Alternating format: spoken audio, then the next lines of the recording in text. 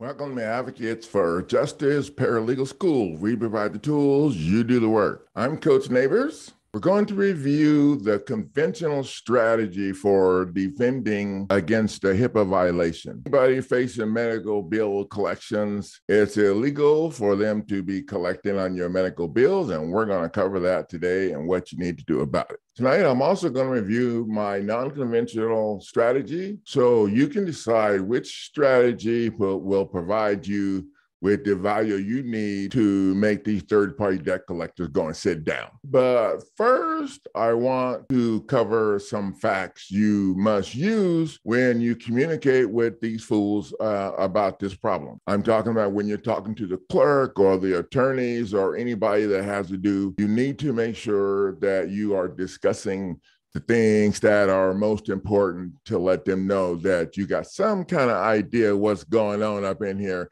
and you're going to be a pain in their butt. The third party debt collector's complaint is usually pled as account states. Now, this cause of action requires proof. Without these things, they do not have standing to be bringing the, the action against you. So the first one is you have approved a transaction that establishes creditor debtor relationship between you and the third party debt collector. They have to provide an expressed or implied agreement between the parties as to the amount due and they have to provide expressed or implied promise from the debtor to pay the amount due. Third party debt collectors will have issues with the following. They can never Account states not proven. They can't prove it. Assignment not proven.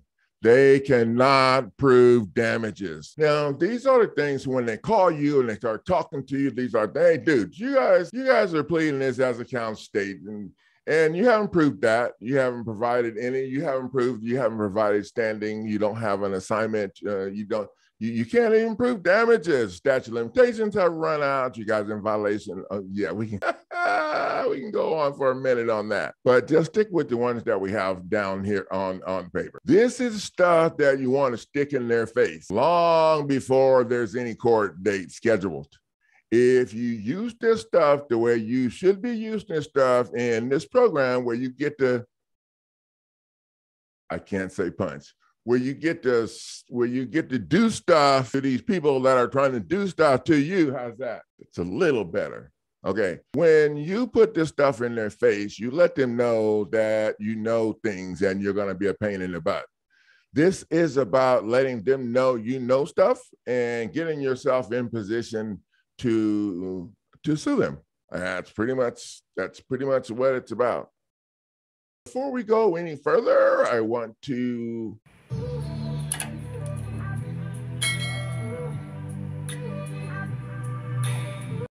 Now, let's go ahead and move on. The conventional strategy for defending against a HIPAA violation. This young lady, I, I listened to a couple of videos on YouTube because I wanted to see what other people are doing and see how what they're doing compares to what I'm saying to do. Coach Neighbors and Coach Neighbors got got a stinking hot plan. Okay, sorry. Let me stay focused. So this young lady, and and and and I, am going to play part of her video um, that shows she explains what you do in the conventional program, and she she's doing a great job. And everything that she says is absolutely true. Everything she says is true, but she's working too hard. We're gonna show you how to cut to the chase where you don't have to work so hard. That's what that's what we're going to show you how to do. We're also going to show you how, how to not let them off the hook. Their program is structured to let them off the hook. We'll, we'll, we'll get to that. The credit bureaus are supposed to wait 180 days after being notified by a collection agency um, of a debt before they place it on your credit report. This is kind of the grace period time that they give us consumers um, time to work out a payment plan with the collector or the hospital or the doctor's office or whatever, you know, in order to pay this debt off before it's placed on your credit report. So during the six months, this is the opportunity for you to take care or make payment arrangements for this debt. The first thing you are going to do is send a debt validation letter to the collection agency. Now, why you're going to do that is because the FDCPA gives you the right to ask a creditor to validate a debt. The agency has placed a medical debt on your credit report. The first thing you do is send them a debt validation letter. In this debt validation letter, it's going to ask them to validate the debt. It's going to ask them to provide documents bearing your signature to validate this debt. It's going to say provide dates of service. It's going to say, you know, the collection agency is going to respond in one of two ways because the tricky part with the medical collection, why it's so tricky opposed to any other collection, you know, with the medical collection, it's harder for collection agencies to validate your debt without violating your privacy laws.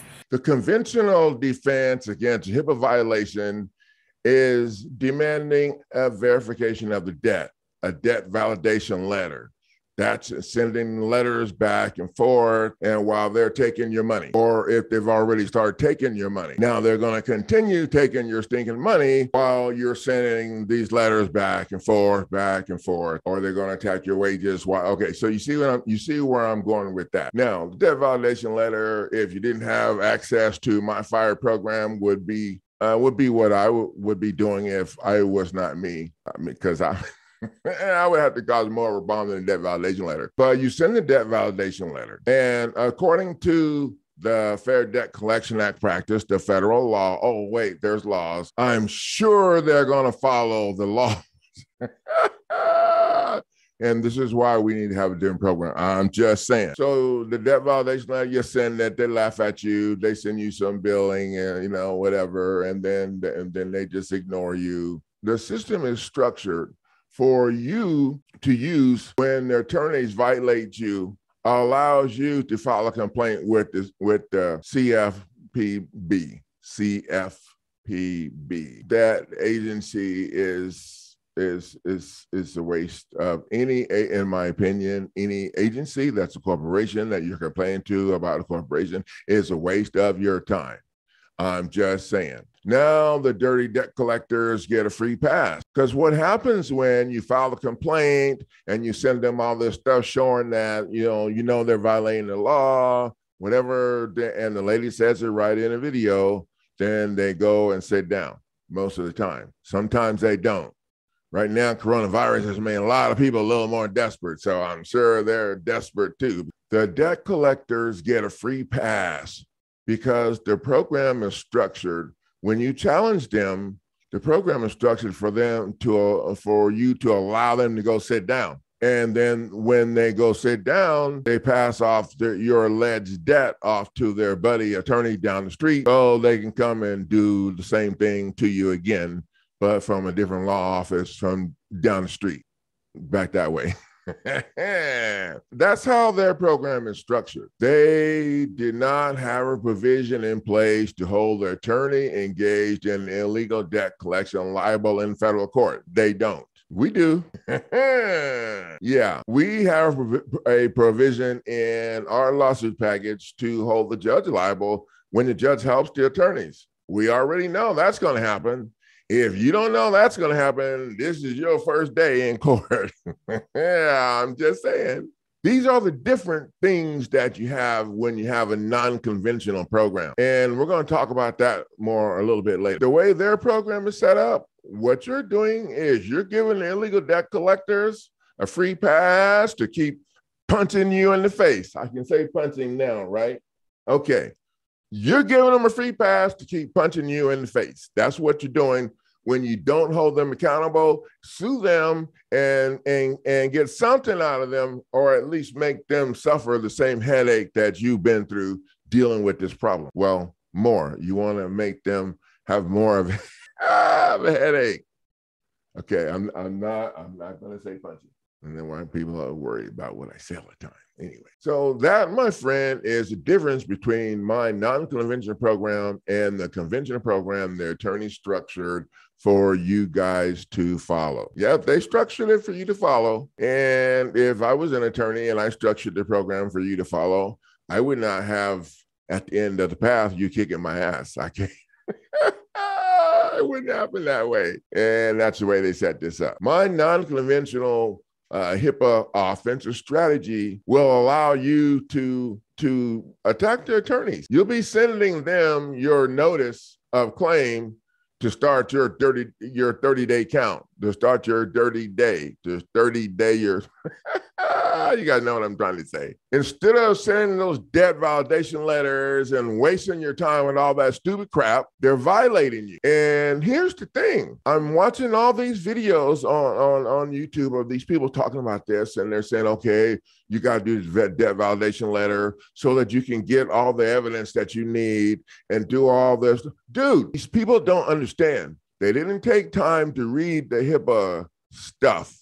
There's a lot of stuff. If you read the HIPAA stuff, you will find out that the medical billing is covered under HIPAA. So if they're coming after you for medical debt, they're automatically violating you at the gate because they shouldn't have anything to do with your medical billing. It's covered under HIPAA. Your medical, they, you don't have to wait to have procedures and all of that document.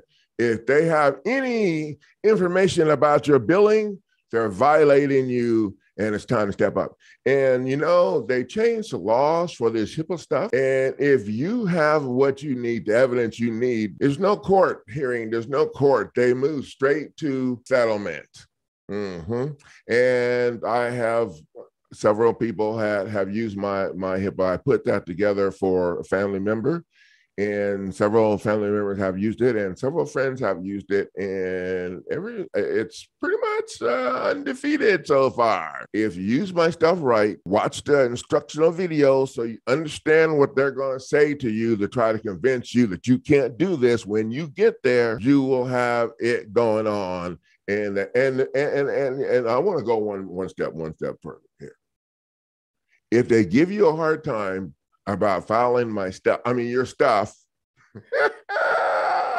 don't take it back. Do not take it back. Just tell them, hey, I know you guys are recording me. You're on record taking my stuff. You don't have authority not to file it. The, the, judge has to dismiss it and kick it out of court. Your job is to put the stuff filed on there as long as I jump through the hoops that you guys, the, the very minimum requirement hoops.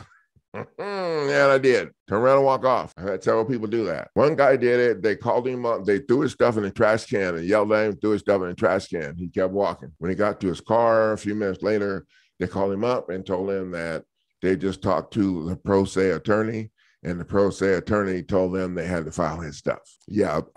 there is no such thing as a pro se attorney. That that is the best they can do. They're so used to no one challenging them. If they give you a hard time about uh, about filing your stuff, don't take it back. Because when you take it back, you're agreeing that they shouldn't turn and walk away.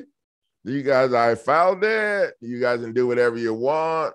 I record, you know, just just let them know. Now, in my program, you would be lining up to sue them at the gate and bypassing all their Consumer Financial Protection Bureau crap because they're not going to do anything to help anybody. By the time they get done responding to you, they'll still be, they'll already be beating you down and taking your bank account. And I've had people call that are facing, were facing them trying to take your entire bank account. Now, you have a right to fight, and all you must do is continue with what you already been doing. But but now you're going to change the program a little bit and use my new weapons so you can start learning how to have some fun. Because I'm telling you, if you know how to make them sweat, you're going to have some fun. This lawsuit package is posted on my website at winincourtnow.com. And I haven't put the words in the offer yet, but I do have the package connected to the checkout. You guys need to check that out if you're facing this problem. And one of the things that I always tell people when they enroll in my program or invest in one of my packages is that you're going to learn how to have some fun. And just think about it. In my program, one of the main things, and we're going to talk about this in a minute, is you're going to go after the people who sign. Most people have no idea that the person who signed is an attorney coming after you. And in this this issue that we're talking about today, it's an attorney acting as a third party debt collector who has no standing to be getting in your face. And most of the time, when you stand up to them, they go sit down. But you know what? We need to be going after them for causing the headache that you've been dealing with, messing with this problem. Now, I want to take a minute and explain to you guys why my non conventional legal strategies will forever change the landscape or foreclosure offense defense. foreclosure defensive offense. Hey, yeah, that that that came out good. I don't think I can say it again though. one of the things that makes my program special, one of the main things is it's affordable. It's affordable. And that's one of the things that I've been striving for um, to make my program affordable so that I can help the people like me that need help. And I think it's affordable. For there's not very many places you can go and spend four to six hundred dollars to to learn how to take control of the court process that's holding your your property hostage. Not very many places. And there's no place where you can go and enroll in a foreclosure offensive online course for both non judicial and judicial foreclosures.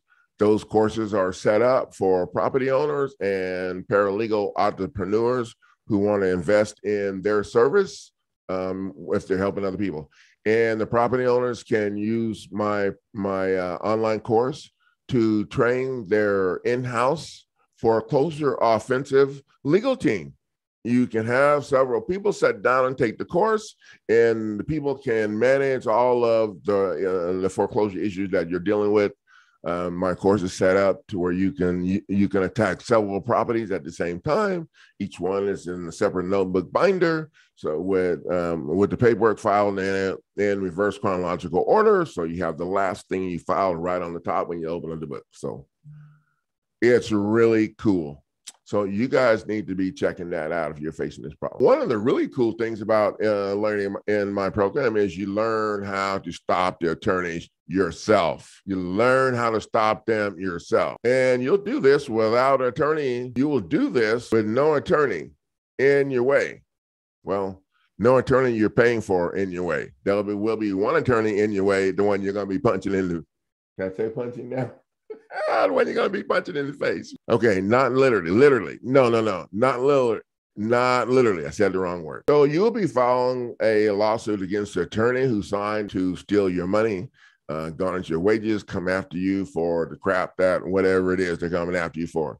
Now, guys, you need to remember in my program, we don't spend so much time talking about what they said you did or didn't do. We'll learn how to attack the court process. Okay. We're learning how to attack the court process.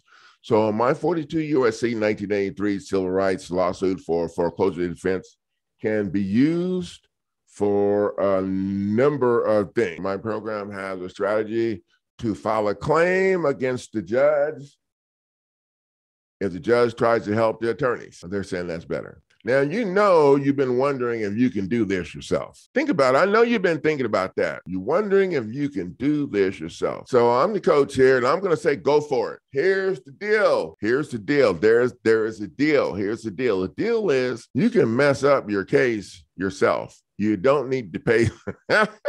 you don't need to pay somebody to mess up your case. You can mess up your case yourself. okay, that's not helping me make my point, right? But but it's very valid. You can mess it up yourself. Or look, my program is structured for you to sue the people who signed to start the dispute against you without an injured party or damaged property. I used to play football and I boxed when I was in college and when I was much younger, and those are things that non smart people do. So I like to keep things simple. When you keep things simple, it avoids the space for arguing because we already know their program is structured for when the arguing is over, their buddy judge gets to help them. So we ain't trying to have the arguing. So, and this is the key. I'm gonna give you this tip. If you're doing your own stuff or whatever, this is this is a serious tip. This is this is a serious punch in their face. I can say that, right? Okay. When I put it this way, this is a serious punch in their face. When you sue the attorney and the judge who signed on to the case, it will get messy for them ASAP. You're suing the attorney because the attorney is, is the one who signed to start the action against you. And you're suing the judge for going along with all of that without an injured party or any damaged property. You guys, please leave a comment and let me know what you think about my work. The HIPAA lawsuit package is, is on my website at winincourtnow.com. So you can go there and get it. The words aren't in uh, aren't in the page yet, but I'm going to get that done this weekend. The lawsuit package is connected to the checkout so that you can make your investment checkout now. And I honestly don't remember how much it is right now. So I think next week I'm going to I'm going to highlight our marriage dissolution document. I have a marriage dissolution document that allows you to dissolve your marriage without an attorney's accord, without all of that crap in your face. So we'll talk about that next week. Thank you guys for the privilege of sharing your time, and I will see you in the next video.